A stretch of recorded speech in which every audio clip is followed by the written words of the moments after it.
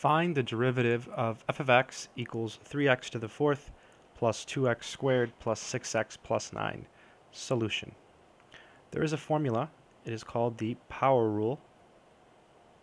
And it basically says if you have g of x equal to x to the n, then the derivative of little g, g prime of x, well, to find it, you just take the n, bring it downstairs, and then you have x to the n minus 1. So in our problem, f prime of x, the derivative of 3x to the fourth, well, you bring the 4 downstairs, so you get 4 times 3, x cubed, plus here you get 2 times 2, and then x to the first power.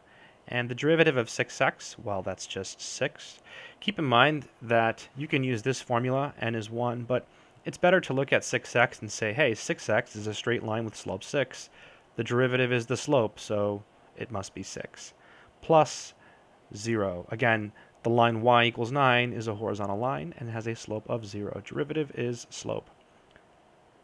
Finally, the derivative ends up being 12x cubed plus 4x plus 6.